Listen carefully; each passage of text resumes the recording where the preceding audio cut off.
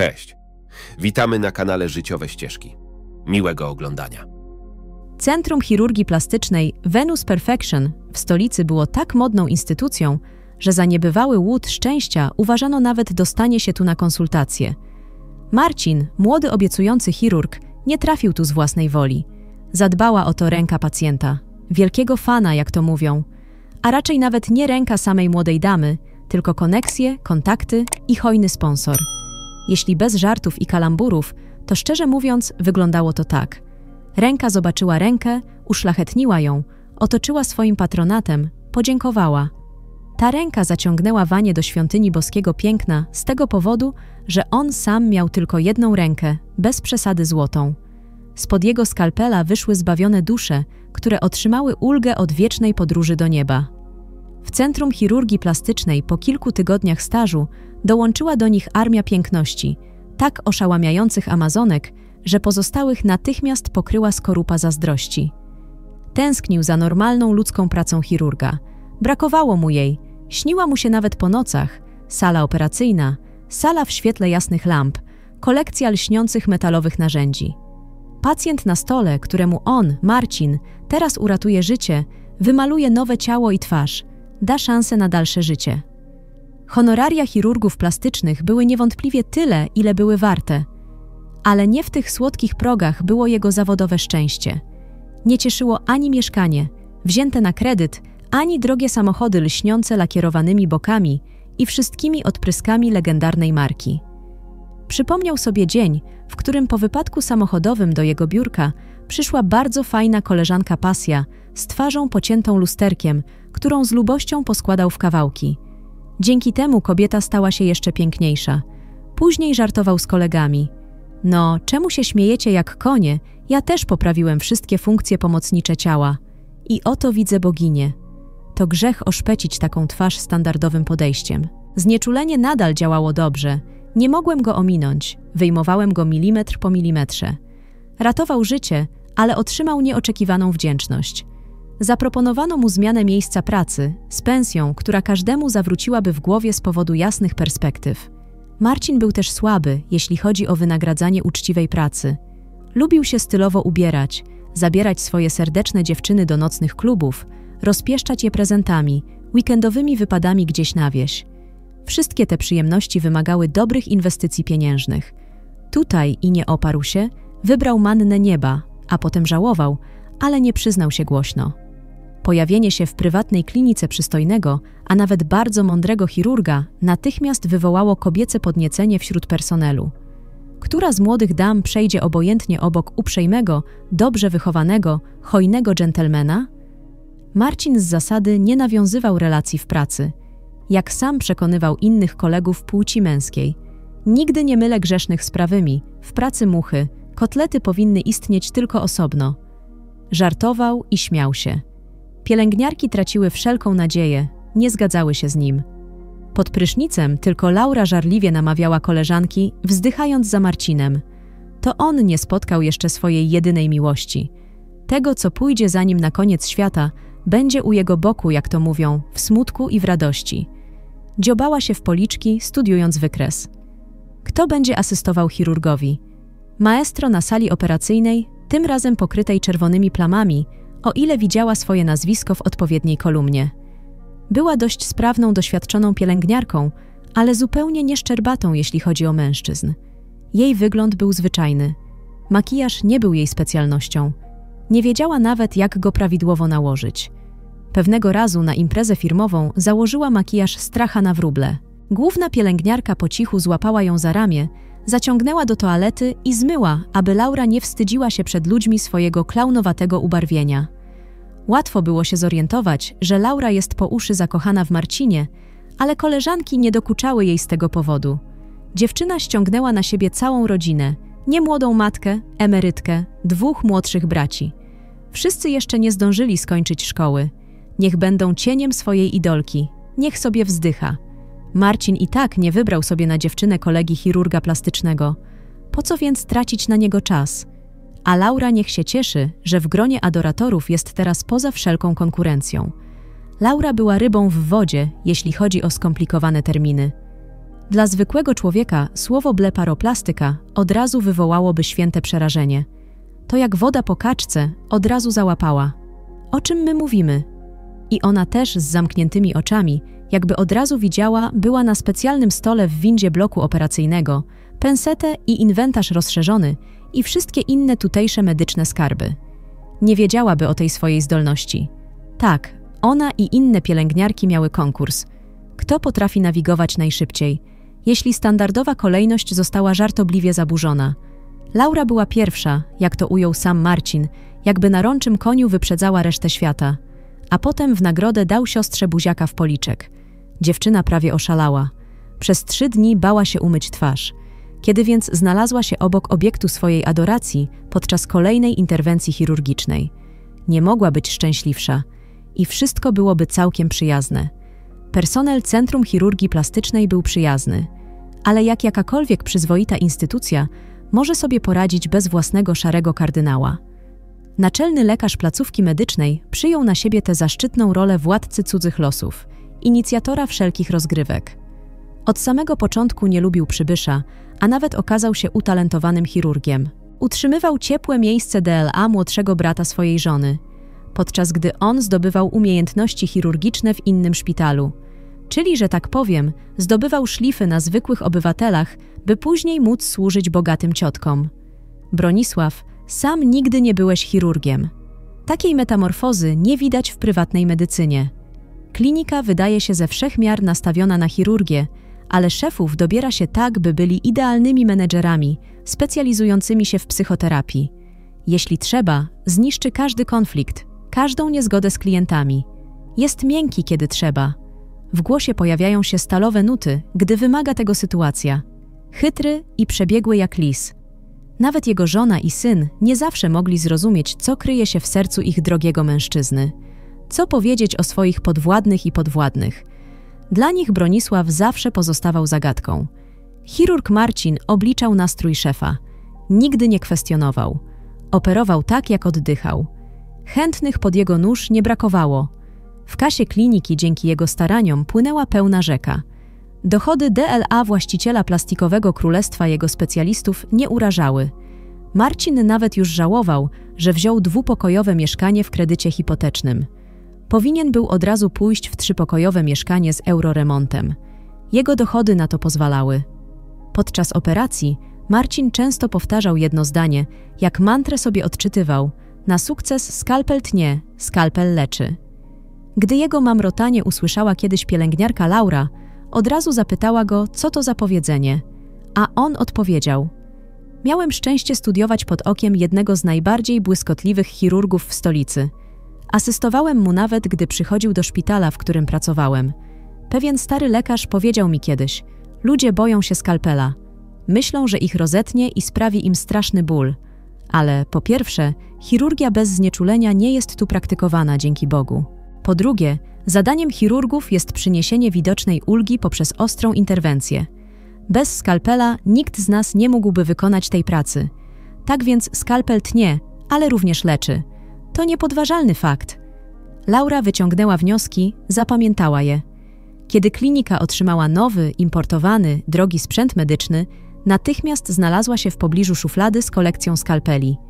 Potem z błyszczącymi oczami wtargnęła na salę operacyjną. Marcin sprowadzili takie cudowne instrumenty najbardziej legendarnych marek.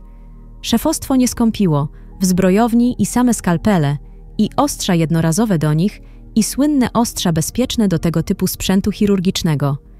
Jestem oszołomiony wspaniałością tego wszystkiego. Musisz to wszystko zobaczyć. Marcin uśmiechnął się pobłażliwie.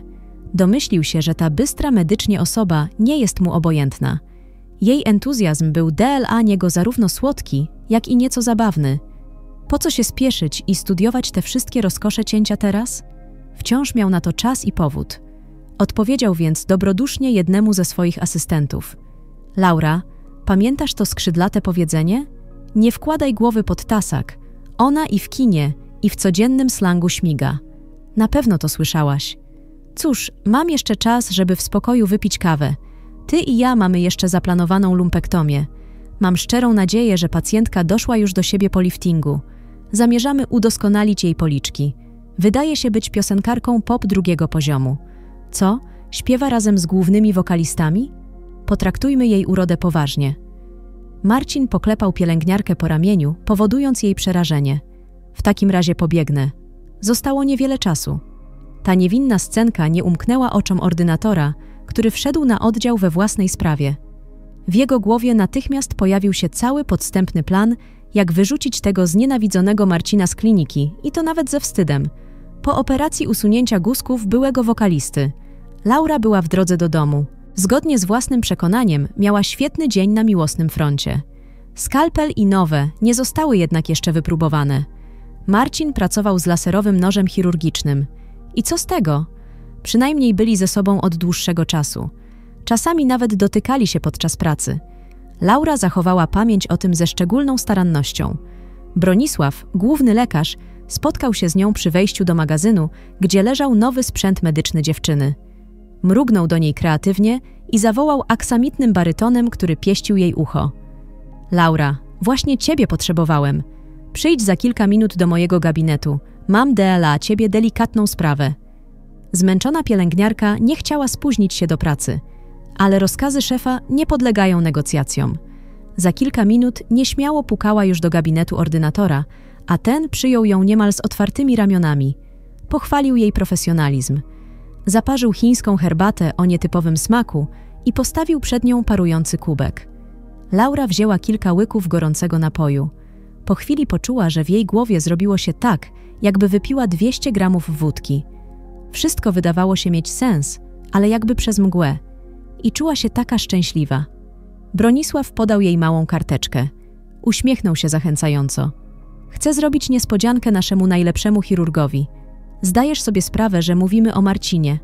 Myślę, że Ci współczuje, więc na pewno cię wysłucha. Tam w magazynie na dalekich półkach czeka na niego niespodzianka, najnowszy sprzęt chirurgiczny ze Szwajcarii, którego nie znajdziesz w żadnej innej rodzimej klinice. Jest lekarzem od Boga, a z tymi narzędziami będzie Bogiem DLA swoich klientów. Napiszesz mu teraz liścik, że zapraszasz go na randkę do sklepu, że chcesz mu podpowiedzieć coś innowacyjnego do jego działalności medycznej. Pięć minut później, przed głównym lekarzem, leżała kartka papieru. Marcin, oczekuję cię w magazynie za 10 minut. Muszę ci pokazać coś bardzo ważnego dotyczącego twojej przyszłej pracy. Na dole widniał podpis: Pielęgniarka Laura. Bronisław niemal sam zaciągnął dziewczynę do magazynu. Po rozpuszczeniu magicznej herbatki z tabletkami nasennymi, nogi w ogóle jej nie trzymały. Zasnęła w biegu. W tym czasie chirurg Marcin brał prysznic w pomieszczeniu sanitarnym. Poszedłby już do domu. Tak, dotarło do niego, że w jego eleganckim nowym budynku, w którym wszyscy mieszkańcy zostali ostrzeżeni, że przez najbliższe dwa dni z przyczyn technicznych woda w całym domu zostanie odcięta. Początkowo chciał odwiedzić jedną ze swoich dziewczyn, gdzie zostałby wykupiony i pysznie nakarmiony. Ale zdał sobie sprawę, że jest bardzo zmęczony. Po dwóch zaplanowanych operacjach, obchodach, dyżurach z pacjentami, pragnął tylko jednego znaleźć się we własnym mieszkaniu, w miękkim i wygodnym łóżku. Kiedy Bronisław włożył kartkę do kieszeni munduru Marcina, dźwięki już cichły. Kroków, naturalnie, nie było słychać. W spiżarni, siedząc na podłodze, Laura spokojnie spała. Naczelny lekarz, który wymyślił kombinację wielozadaniową, wrócił do swojego gabinetu. Musiał wiedzieć, czy cokolwiek wyniknie z tego, co postanowił zrobić o tak późnej porze. Pochwalił się też w myślach, że zrobił sobie kopię diagramu martwego pola, kiedy zainstalowali monitoring w klinice. Miał zwyczaj trzymania przy sobie różnych dokumentów na zasadzie na wszelki wypadek. Laura przeciągnęła go przez martwe punkty, w których nic nie widać, ale ten Marcin na pewno trafi w najbardziej widoczne miejsca i tam będzie miał kłopoty. Bronisław był w jakiś sposób stuprocentowo pewny, że jego plan zadziała perfekcyjnie. Pozostawało tylko czekać. Marcin, który nic nie wiedział o podstępnych planach szefa, po prysznicu kontrastowym poczuł się znacznie lepiej. Zmęczenie minęło. Chwalił siebie za to, że nie lenił się stać długo pod elastycznymi strumieniami zimnej wody. Zaczął nawet myśleć, że warto byłoby pojechać do dziewczyny, bo przed nim tydzień codziennych obowiązków. Może w ogóle nie byłoby czasu na miłość. Marcin zaczął zwijać mundur, by zanieść go do pralni kliniki, gdy nagle wydało mu się, że w kieszeni kurtki coś szeleści. Sekundę później czytał wiadomość od pielęgniarki i strasznie się zdziwił. Kto mógł o tym pomyśleć, jakby nie wplątała się w jakąś historię DLA jego dobra? Zakładając miękkie kapcie, pospieszył do spiżarni. Laury nigdzie nie było widać. Czyżby spłatała mi figla? Mężczyzna pomyślał z irytacją. Z pewnością nie czas na to.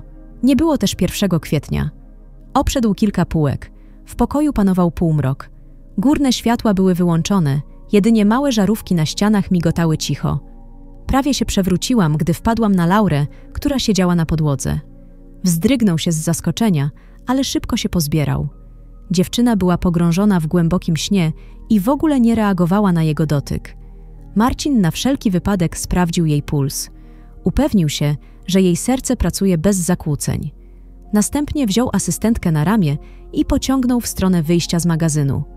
Nie zadał sobie trudu, by sprawdzić, jak pielęgniarka się tam znalazła i postanowił, że zapyta ją o wszystko jutro.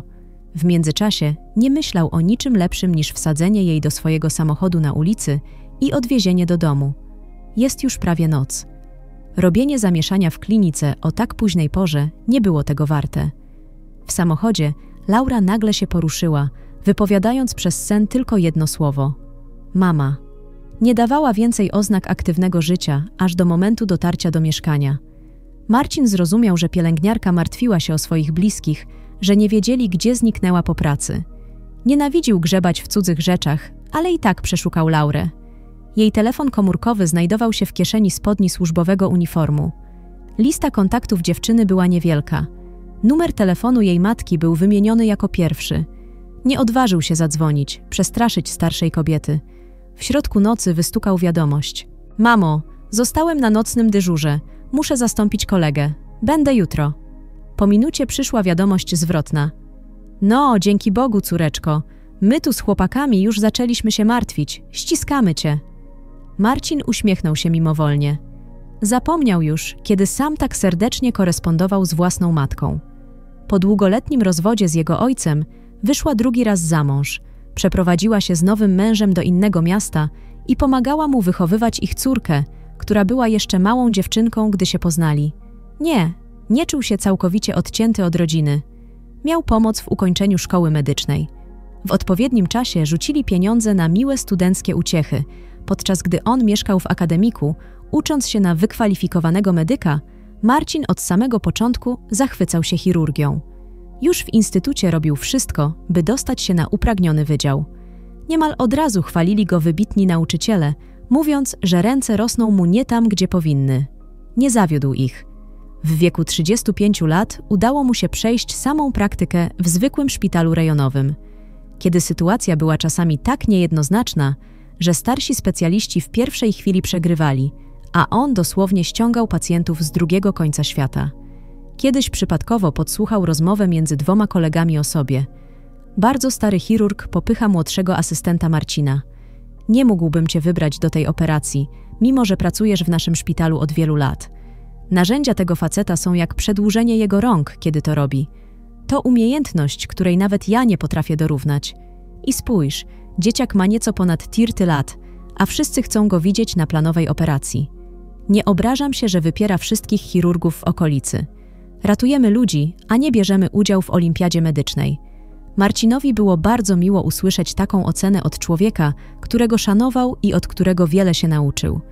Ale, o dziwo, nad jego głową nie pojawiła się aureola bóstwa. Zaczął tylko jeszcze bardziej zagłębiać się w zawód, coraz częściej rzucając się w zasadzkę z najtrudniejszymi przypadkami. Jego matka ciągle narzekała, że z takim zamiłowaniem do pracy nie będą mogli doczekać się wnuków. Tak, a na wynajmowanych mieszkaniach wędrować to też nie jest wyjście DLA genialnego specjalisty. Zaproszenie do prestiżowej prywatnej kliniki chirurgii plastycznej stało się panaceum, które pozwoliło i ze skalpelem się nie rozstawać i dobrze zarabiać. Po sześciu miesiącach pracy w elitarnej placówce medycznej zaczął mocno stać na nogach, ale nadal nie zamierzał się żenić. Żartował. Zostaw mnie w spokoju. Moja praca nie ma jak dotąd rywali w moim życiu. Przy świetle jasnej lampy w salonie Laura wciąż spała snem martwej carycy. Marcin zaniósł ją do sypialni i zwalił się na kanapę w drugim pokoju. W tym samym momencie powróciło do niego wszechogarniające zmęczenie. Dopiero co zdołał zrzucić z siebie dżinsy i bluzę. Nie był teraz zdolny do żadnych wielkich wyczynów. Sofa, którą kupił bardziej DLA luksusu niż relaksu, wydawała mu się teraz rajem. Minutę później jedynymi dźwiękami w mieszkaniu chirurga był lekki szum lodówki w kuchni i tykanie zegara. Marcin i Laura nie mieli pojęcia, że to ostatni tak spokojny dzień w ich życiu. Poranek w klinice chirurgii plastycznej rozpoczął się od głośnego zamieszania. Naczelna pielęgniarka, której ordynator przydzielił opiekę nad nowymi narzędziami, zastała magazyn w kompletnym nieładzie.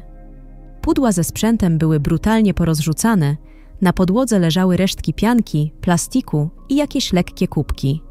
Po sprawdzeniu z listem przewozowym kobiecie brakowało 15 sztuk najdroższych zapasów.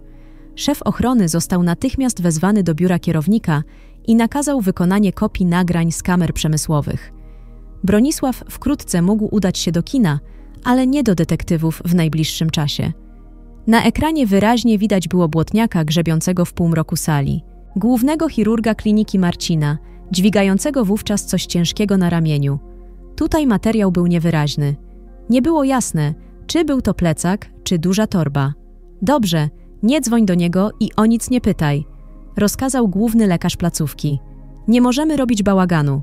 Sam zajmę się wszystkimi okolicznościami i karą za tak poważne wykroczenie. Wszystko, co właśnie zobaczyłeś na filmie, musi pozostać tajne. Szef ochrony bardzo lubił chirurga Marcina, ale ten nie odważył się sprzeciwić szefowi. Mężczyźni spotykali się czasem na siłowni, mogli wypić razem piwo, po pracy pogadać o wszelakich męskich pasjach, zainteresowaniach. Serwisant pomyślał, że dobrym pomysłem byłoby wysłanie wiadomości do swojego kolegi. Kilka minut później zadzwonił Marcin, który musiał iść na cały dzień. Po południu przyszła wiadomość. Jeśli nie robiłeś wczoraj nic dziwnego w pracy, lepiej będzie, jeśli pojawisz się w klinice wcześniej, przed swoją zmianą. Chirurg, obudzony dźwiękiem telefonu, nic nie zrozumiał z tych słów. Wtedy przypomniał sobie, że wczoraj odwiózł pielęgniarkę Laurę do domu. Rodzina za nią tęskniła. Czy co? pomyślał mężczyzna.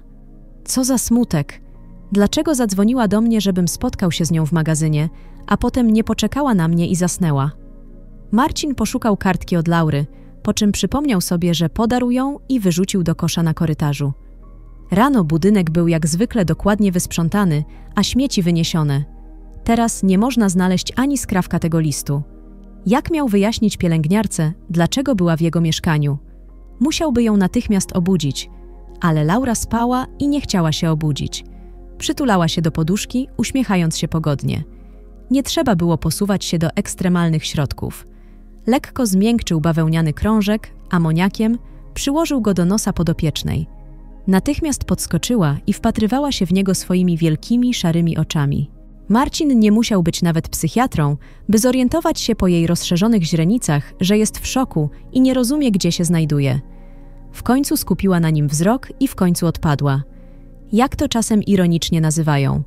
Marcin, co ty tu robisz? Mieszkam tutaj, poinformował ją chirurg. A ty zrobiłaś mi wczoraj zaszczyt i odwiedziłaś moje skromne progi. Laura rozejrzała się bojaźliwie. Mundur pielęgniarki na swoim miejscu. Co mogło być między nimi? Nie pamiętała nic od chwili, gdy ordynator zaprosił ją do gabinetu. Bronisław znał się na lekach. Jeden z najnowszych farmaceutyków, przeznaczony do wymazywania gorzkich wspomnień u pacjentów, wymazał niepotrzebny kawałek jej pamięci. Cały wczorajszy dzień, aż do dzisiejszej nocy, miała przed oczami, a potem wszystko zniknęło. Laura, uspokój się, weź się w garść. Uporządkujmy sprawy. Zwrócił się do niej gospodarz. Wczoraj zaprosiłaś mnie na spotkanie w magazynie, gdzie przechowywany jest cały nasz sprzęt medyczny. W jakim celu? O czym ty mówisz, Marcin? Nigdy nie odważyłbym się zaprosić cię gdziekolwiek. Co ja robię w twoim domu? Czy to jakiś żart naszych kolegów? Z tym będziemy musieli sobie poradzić. Znalazłem cię w magazynie medycznym, śpiącą, opartą plecami o regał. Nie mogłem cię obudzić, ale nie mogłem też zostawić cię tam samej. Nie miałem nic lepszego do roboty niż zabrać cię ze sobą do domu. Laura zaczęła się jąkać. Niosłeś mnie na rękach? Jej policzki, jak to miała w zwyczaju, były teraz czerwone jak maki. Nie mogłaś chodzić na własnych nogach. Mężczyzna uśmiechnął się po raz kolejny. A teraz idź do łazienki. Są tam jednorazowe szczoteczki do zębów, stos ręczników kąpielowych, czysty szlafrok frotę. Podczas gdy ja będę parzył kawę, ty będziesz miała czas, żeby się umyć. Będziesz miał pół godziny na zrobienie wszystkiego. Potem pójdziemy do pracy. Aha, i wysłałam wiadomość do twojej mamy, że zostajesz po godzinach. Laura, będąc już w drodze do łazienki, odwróciła się gwałtownie. Dziękuję, Marcin. Jesteś nie tylko genialnym chirurgiem i starszym towarzyszem w pracy. Jesteś ludzki, hojny, życzliwy. Niedługo kończę 33 lata. Przez długi czas wielu przedstawicieli Twojej specjalności medycznej po codziennej pracy ze skalpelem stęchłą przytulność pokrywa czymś w rodzaju ochronnej warstwy obojętności, aby nie spalić się od niepotrzebnych emocji. U Ciebie jeszcze nie widzę takich przejawów. Czy każdy pacjent jest del a pana jak ulubione dziecko?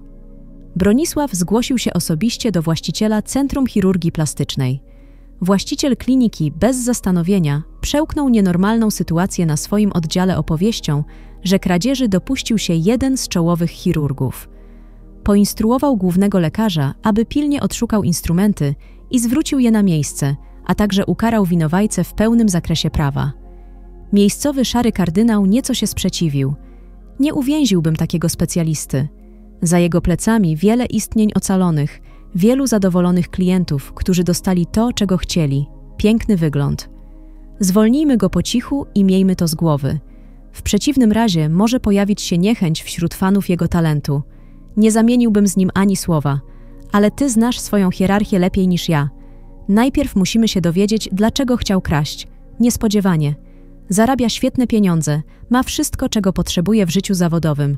Miał dziwne załamanie. Posortuj to. Naczelny lekarz odprowadził gościa do samochodu i westchnął z ulgą. To był parszywy pomysł. Przynajmniej nie wezwali go do zarządu z raportem. Ograniczyli to do wizyty jednego ze wspólników właścicieli. Uznano to za drobny incydent. Czekała go ciężka rozmowa.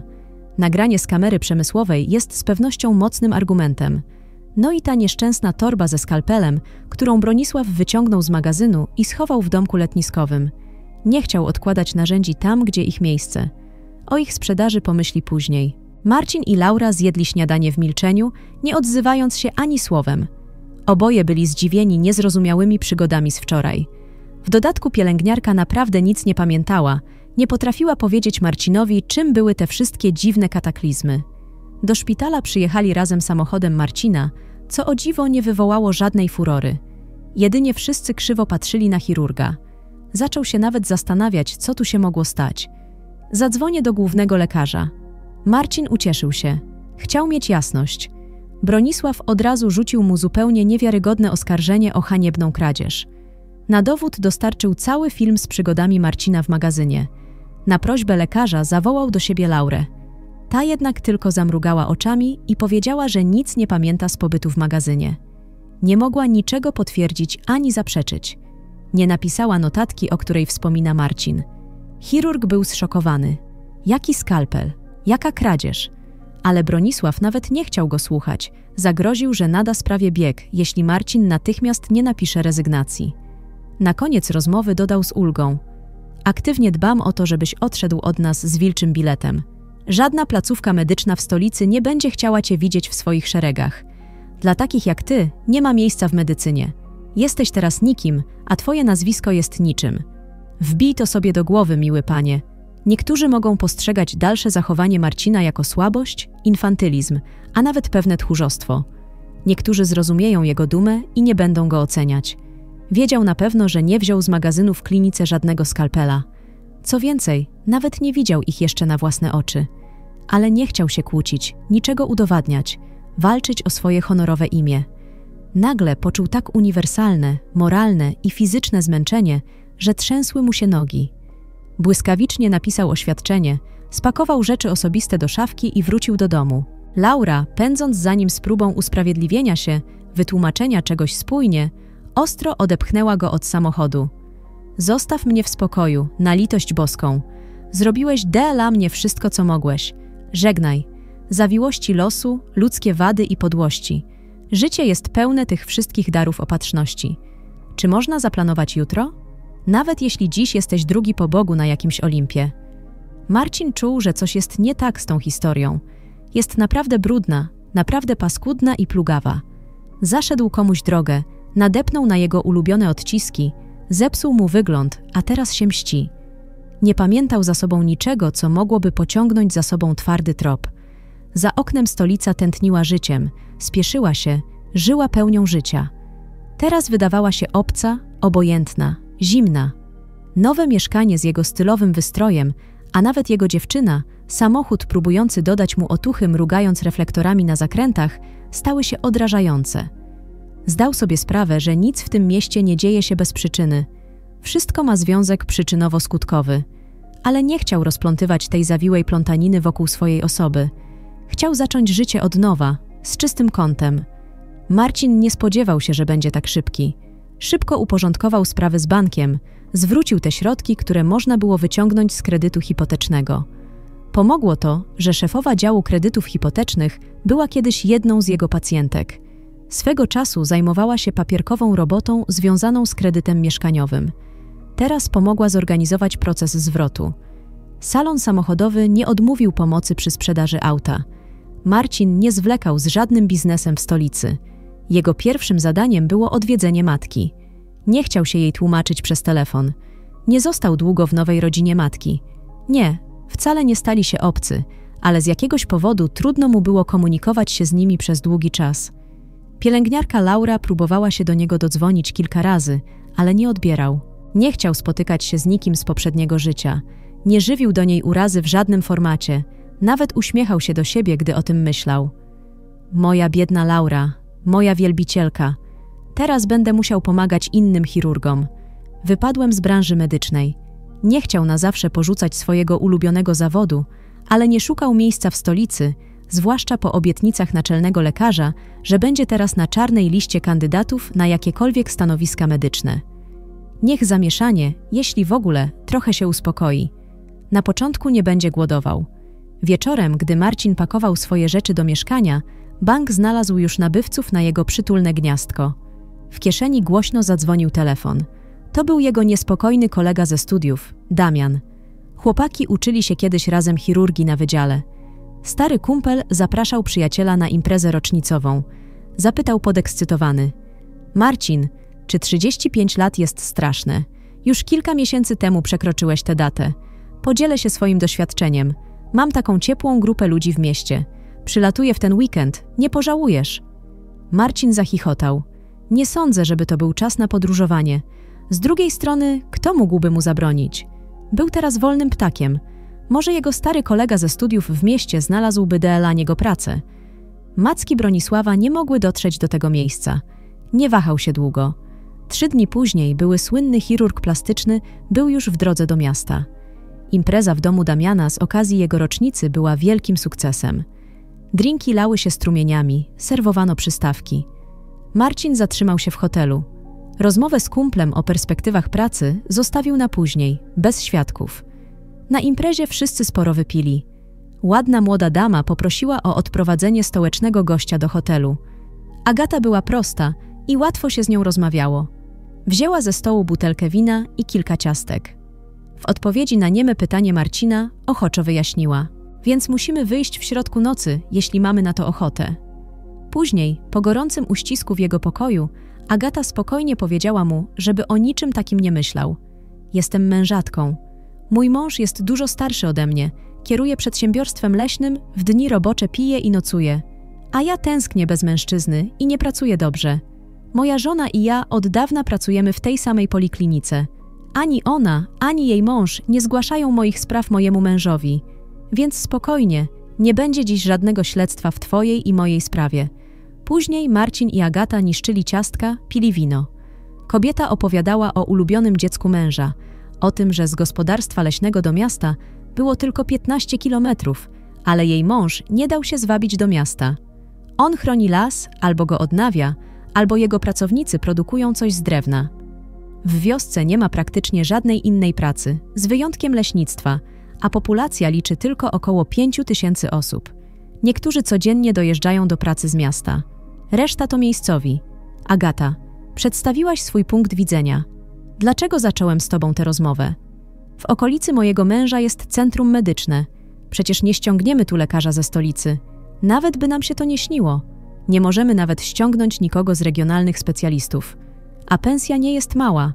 To prawda, trzeba być medycznym mistrzem wszystkich rąk, Waniliowy profesjonalista nie wytrzyma tam miesiąca z nudów. Żaden człowiek w naszym życiu nie pojawia się bez powodu. Każdy ma jakąś rolę do spełnienia. Po tamtej nocy przypadkowa dziewczyna Marcina stała się nieoczekiwaną trampoliną do jego przyszłej kariery. Tydzień później, po oswojeniu się z miejscem, rozmowie z kolegą ze studiów, który wprowadził go w życie, Marcin poszedł do pracy jako ratownik medyczny, chirurg i wszyscy inni specjaliści medyczni w wiosce. Laura, pielęgniarka, nie mogła znaleźć sobie miejsca, myśląc, że jest odpowiedzialna za wszystko, co spotkało Marcina w ciągu ostatnich dwóch tygodni. Chirurg uporczywie nie odbierał jej telefonów. Drzwi do jego mieszkania były zamknięte, a lokal nie zdradzał żadnych oznak życia. Nawet to, że całą noc przesiedziała pod mieszkaniem, ogrzewając schody swoim ciepłem. Marcin nigdy nie pojawił się w domu. Laura była dość cichą, spokojną osobą, ale tutaj została zastąpiona. Kipiała ze złości. Obiecała sobie, że dowie się, kto sfabrykował całą sprawę przeciwko Marcinowi. To pachniało przestępstwem. Zastanawiała się, czy jeśli jej idol rzeczywiście kradł drogi sprzęt medyczny, to dlaczego wszystko odbyło się bez udziału policji? Argumenty, że w prywatnej klinice wszystko, co związane z wewnętrznymi incydentami, powinno być tuszowane, nie przekonywały jej. Dzień po zwolnieniu Marcina do zespołu dołączył nowy chirurg. Nikt w klinice nie wiedział, że to szwagier szarego kardynała Bronisława. Publicznie obaj zachowywali chłód, bez cienia pokrewieństwa. Pierwszego dnia personel kliniki wydał werdykt w palarni. Śliski typ, śluzowaty, powiedziała jedna z pielęgniarek. Zauważyłeś, że jego oczy są zawsze rozbiegane? Nie patrzy przeciwnikowi w twarz, powiedział jeden z lekarzy. Wszyscy zgodzili się, że Marcin był inny. Nikomu nie spieszyło się, by trafić na zespół operacyjny z plastikowym debiutantem. Laurę niezrozumiały typ o imieniu Piotr również ominął za siedem werst. Czysto intuicyjnie jego szybkie pojawienie się w klinice wydało jej się nieprzypadkowe, podczas gdy sama uznała, że nie poradzi sobie ze śledztwem zastępcy. Szef ochrony był strasznie zaskoczony. Przypomniała mu się nawet scena ze starej komedii, gdy zauważył, że pielęgniarka Laura rzuca mu ospałe spojrzenia. Jemu, mężczyźnie, długo i stanowczo żonatemu, biurowe romanse nie były potrzebne. Ale doświadczenie byłego pracownika operacyjnego podpowiadało mu, że czasami ślady kobiecego zainteresowania mogą mieć nieromantyczne podłoże. Nie mogąc wytrzymać naporu spojrzeń ze strony Laury, Arkadiusz sam do niej podszedł i zapytał wprost: Co to za gra oczu, Lauro? To chyba nie czas na wiosenne miłostki. Młoda kobieta odpowiedziała jasno: Kocham Marcina, kocham go całym sercem. Nie jestem zainteresowana nikim innym. Nie mogę pogodzić się z obojętnością i dystansem moich kolegów, z ich zasadą każdy sobie. Człowiek został wyraźnie wrobiony, a wszyscy się usprawiedliwiali, błagali. Jakby nie było wśród nas utalentowanego chirurga. Jutro każdy mógłby być na jego miejscu, bo ciepłe miejsce chleba nigdy nie jest puste. Arkadiusz był zaskoczony. Nie sądził, że takie namiętności w niej kipią. Powiedział na głos szczerze, łamiąc wszelkie rozkazy naczelnego lekarza. Mnie też nie podoba się ta cała parszywa historia, ale fakty są niepodważalne. Sam zrobiłem nagranie z kamery przemysłowej, w razie czego dowiesz się o tamtym dniu. Poza tym proszę, powiedz mi, poprosiła pielęgniarka. Chcę znaleźć Marcina Ju. Czuję się winna, że go zawiodłam, że nie mogłam go ochronić. Chcę sprawiedliwości. Wie pani coś o tym, gdzie tajemniczo zniknął? Arkadiusz zastanowił się przez chwilę. Następnie wypowiedział swoje myśli na głos. Nie próbowałem się z nim skontaktować, ale zrobię to wkrótce. Tak zrobię. Jeśli czegoś się dowiem, podzielę się tym z tobą. Na tym zakończyła się ich rozmowa. Laura pospieszyła na salę operacyjną, gdzie po raz pierwszy miała asystować temu obskurnemu Piotrowi. Cóż poradzić, praca to praca. Bracia znów mają sporo rzeczy do kupienia. Rosną skokowo, wszystko się na nich drze, zwłaszcza buty. Mama bierze się w garść, ale jej ciśnienie gwałtownie rośnie. Powinniśmy znowu podawać jej kroplówki w domu, będzie łatwiej. A Laura poczuje się lepiej. Dzień wcześniej ordynator Bronisław i jego szwagier Piotr odbyli ciekawą, prywatną rozmowę. Ordynator polecił swojemu podwładnemu znaleźć kupców na bardzo wysokiej jakości skalpel. Początkujący chirurg plastyczny nie zadawał zbędnych pytań, tylko w milczeniu przytaknął, że wszystko załatwi. W jego głowie natychmiast zrodził się plan, który jeszcze tego samego wieczoru zaczął realizować. Diana był zagorzałym fanem internetu, Wierzył, że wirtualny wszechświat pomoże rozwiązać każde pytanie. Nie zmienił swojego przekonania i teraz, po zaledwie półgodzinnym siedzeniu, napisał kilka ogłoszeń oferujących zakup instrumentów medycznych. Ceny ustalone, cechy boskie uczynił kuszącymi, udając się z poczuciem niemal spełnionego obowiązku na kolację. Nie spodziewał się, że reakcja World Wide Web na jego apel będzie niemal błyskawiczna. Na ekranie monitora pojawiły się zaledwie dwie linijki. Gotowy do zakupu całego zestawu w hurcie. Wyznacz miejsce spotkania. Już następnego dnia Piotr informował swoich przełożonych o zbliżającej się transakcji. Naczelny lekarz zdawał sobie sprawę, że będzie musiał pojechać do daczy i przywieźć skalpel. Zdążył już zgłosić właścicielom kliniki, że sprzętu nie znaleziono, a pierścień właściciela odszedł w nieznanym kierunku, żarliwie przekonując kierownictwo, że nie warto robić zamieszania. Wśród klientów chirurga było wielu znanych dygnitarzy. Koszt tych medycznych spraw nie był aż tak wysoki, by ryzykować reputację całego zakładu. Jego argumenty zostały przyjęte, skalpel leżał spokojnie w domu szarego kardynała, czekając na swój czas. Spotkanie z nieznanym kupcem wyznaczono na sobotę. Piotr wraz z towarem czekał w jakimś wiejskim domku, który nawet lubił mniej wścibskich oczu. Po co niepotrzebnie błyszczeć? Za wysokim drewnianym płotem dzwonek jego bramy odbijał się nielogicznym echem. Dalsze wydarzenia nie były już tak różowe. W otworze ogrodzenia stał wysoki, nieforemny jegomość o złych oczach i owczarkach. To ty? No to wejdźmy do środka i pogadajmy. Piotr nie był naiwny, po prostu widział już tylu detektywów, że został zaproszony do domu jakiejś lokalnej władzy kryminalnej. Zrozumiał od razu. Miał dług wobec krewnego za to, że dał mu pracę. Mężczyzna postanowił, że spłaci ten dług w całości, nie zostanie zjedzony w tym domu. W środku właściciel uśmiechnął się mimowolnie, tak jak to zwykle robią w filmach. Usiadł przy obficie zastawionym stole, gestem zaprosił gościa do siebie, nalał sprzedawcy skalpela i w stosiku koniaku przysunął się bliżej. Piotr wypił podany bursztynowy płyn za jednym zamachem. Spojrzał śmiało w zdające się przenikliwe oczy. Kupiec jeszcze długo milczał, po czym w końcu przemówił. Moi ludzie cię przejrzeli. Piotr, chirurg. Musiałem wiedzieć, że narzędzia nie są fałszywe. Skąd on wziął nogi? Ale robaki wyglądają dobrze. Zapłacę za nie zgodnie z obietnicą, ale bardziej interesuje mnie dłuższa znajomość z takim specjalistą jak ty. Chłopaki, jestem gorąca, cały czas mnie coś boli, rani. Załatasz je za dobrą pensję, dodatkową do tego, co masz w klinice. To, czego od ciebie potrzebuję, to utrzymywanie kontaktu, pojawiać się na wezwanie, gdziekolwiek mi każą. Czy te warunki CI odpowiadają? Piotr był nieco zaskoczony, ale ambicja i chciwość szybko przezwyciężyły jego wątpliwości. Nie widział w tej ofercie żadnego zagrożenia. Kto obraziłby lekarza? Nawet w świecie przestępczym bractwo potrzebuje go żywego i nietkniętego. Co ważniejsze, potrzebował dnia na zastanowienie, ale jego decyzja była gotowa. Przyjmie tę kuszącą ofertę, a co się stanie, to się stanie. Strony rozstały się, zadowolone z siebie. Następnego dnia Piotr odpisał na telefon, że się zgadza, a potem DLA niego codzienność w klinice, gdzie nie wszystko szło tak gładko. Klienci nie chcieli umawiać go na zaplanowane operacje – Wszyscy pamiętali złote ręce Marcina. Koledzy też zdawali sobie sprawę, że jego praca jest raczej tandetna. Śmieszne byłoby porównywanie go do Marcina. Dochody placówki zaczęły gwałtownie spadać.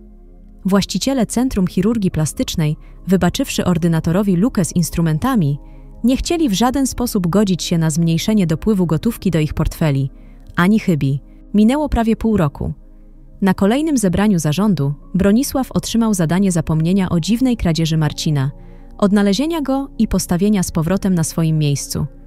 Szef ochrony ponownie otrzymał delikatne zadanie odnalezienia Marcina wszelkimi sposobami. Udać się do domu jego matki, przeszukać ewentualnych znajomych, byłych kolegów. Nie mogło być tak, że Marcin nie kontaktował się z nikim od miesięcy. Arkadiusz nie przyznał się szefowi, że odwiedził już przyjaciół i dziewczyny zwolnionego chirurga. Milczał. Cały czas zaprzeczał. Mówili, że Marcin rozpłynął się w powietrzu. Nadszedł czas wyjazdu służbowego do matki, poszukiwanego w innym mieście. Przed wyjazdem były operacyjny pomyślał, by do krewnych Marcina pojechać razem z Laurą. Kobiety chętniej by się ze sobą dogadywały. Pielęgniarka zareagowała na jego prośbę z wielkim entuzjazmem – Straciła już nadzieję na odnalezienie ukochanego mężczyzny. Czas mijał, ale jej serce wciąż krwawiło, dzieląc się z matką. Poszłabym za nim na krańce ziemi. Gdzie on idzie, tam ja idę.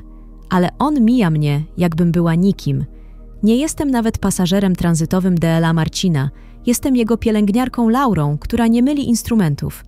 Boże, jak ja go kocham. Matka znów pogłaskała ją po głowie. Powiedziała, że życie jest pełne niespodzianek, że córka spotka swojego jedynego mężczyznę. Laura była wściekła. Nie rozumiesz. Ja nie potrzebuję innego mężczyzny. Dla Arkadiusza do jej matki Marcin był gotów biec całą drogę za samochodem i mieli szczęście. Udało im się szybko nakłonić kobietę do mówienia. Nie widziała nic złego w ich wizycie. Biadoliła coś, w ich oczach widać było coś w rodzaju cierpiącej Laury, ale łatwo nawiązała kontakt. Wiedziała, że jej syn mieszka i pracuje w wiosce niedaleko miasta. Narzekała, podając im herbatę z drogi. I tak czas leciał. Niedługo minie rok, odkąd Marcin pojechał tam na kilka dni i został na zawsze. Nie chce nawet myśleć o powrocie do stolicy. Nie możecie go przekonać, że to nic takiego? Jest utalentowany. Ilu jeszcze mężczyzn będzie ratować miejscowe kobiety po traumatycznych przeżyciach w miejscu pracy i dorabiać w razie potrzeby? Czy taki jest jego los w życiu?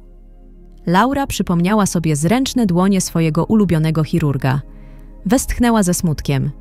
W drodze do domu ustalili z szefem ochrony, że miejsce pobytu Marcina nie zostanie ujawnione.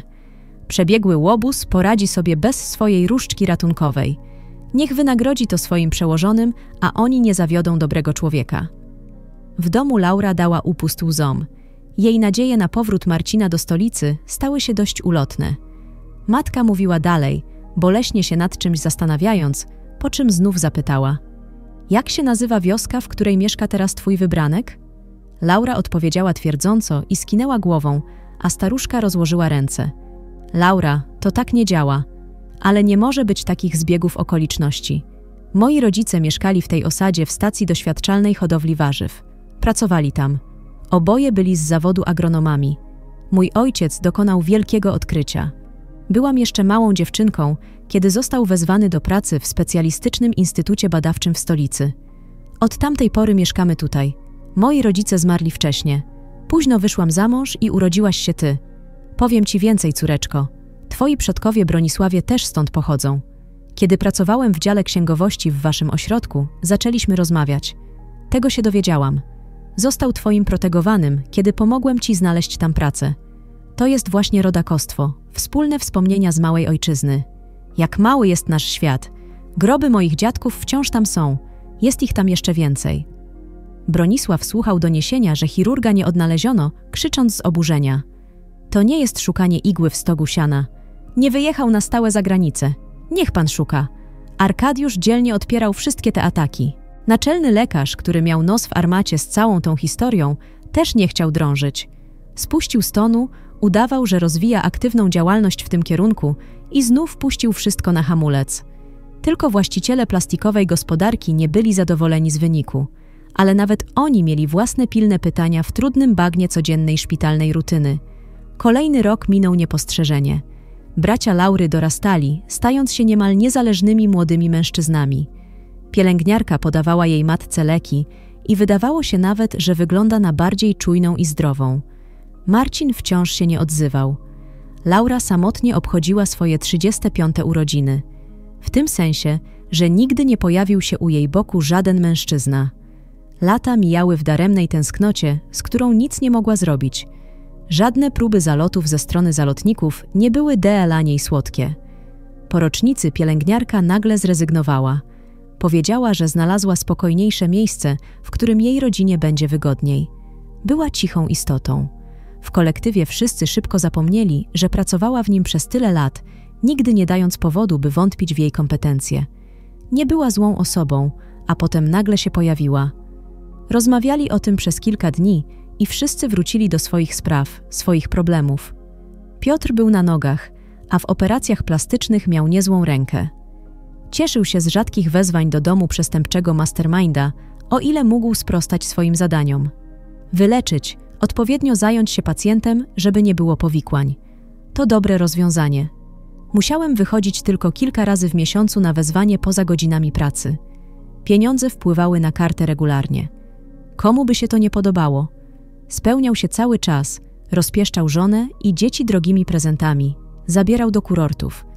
I wszystko byłoby dalej spokojnie, ale dopóki lina się nie skręci, gdzieś jej końcówka tak się zaświeci. Jednak zanim nadszedł czas nieoczekiwanej siły wyższej, minął jeszcze jeden rok. W jednej z rezydencji stolicy matki doszło do kłótni. Jej uczestnikami byli ten sam mężczyzna, który kiedyś załatwił chirurga Marcina w klinice chirurgii plastycznej oraz jego stała piękność. Nie umiał ani nie lubił odmówić jej najmniejszej prośbie. Ta kobieta była jego sekretną słabością. Teraz domagała się wyciągnięcia Marcina z podziemi. Chciała poprawić swoją sylwetkę, a jak miała nastrój, to i kształt policzków i podbródka. A Marcin nie odpowiada na jej uporczywe wezwania. Nikt w stolicy nie wiedział, że Marcin wyrzucił kartę SIM w sercu, zapisując pojedyncze kontakty na nowym telefonie. Relacje przez ostatni rok utrzymywał tylko z matką. Po raz pierwszy potężny mecenas nie wiedział, co robić. No i jeszcze ta mętna historia z kradzieżą, o której on, jako jeden ze współwłaścicieli ośrodka, z pewnością wiedział. Wiedział i nie wierzył, że chirurg może być w cokolwiek zamieszany. Nie było jednak czasu, by się tym zajmować. Po całym dniu odtwarzania w głowie rozmów z ukochaną, mężczyzna w końcu zdecydował się rozwikłać długo ciągnącą się historię. Wspólnicy w plastikowym biznesie w jego planach nie zainicjowali. Poszedł do starego przyjaciela, z którym razem siedzieli w strefie DLA nieletnich. Później ich drogi się rozeszły, ale silna więź pozostała.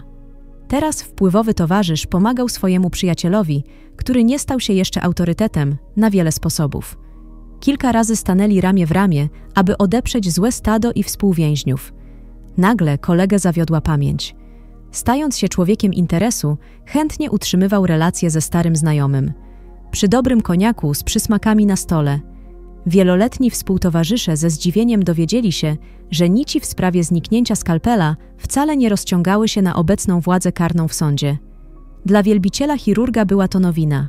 Marcin, Piotr, o ile dobrze zrozumiał, nie znali się osobiście? Jak narzędzia medyczne mogły znaleźć się w posiadaniu niewłaściwej osoby? Tej nocy Piotr przekonał się, że jego kryminalni przełożeni dalecy są od angielskiego podejścia do rozwiązywania spraw. Wyjawił, że jest szwagrem naczelnego lekarza i że Bronisław poprosił go o pomoc w realizacji drogiego sprzętu medycznego. Władza uśmiechnęła się, mrugając okiem do swojego wpływowego gościa. Widzi pan, jak szybko rozwiązuje się tu wszystkie mądre pytania. Odpowiedzi znajdują się niemal natychmiast. Kara za niesprawiedliwość wraca jak bumerang. Bardzo dobry chirurg, powiadasz?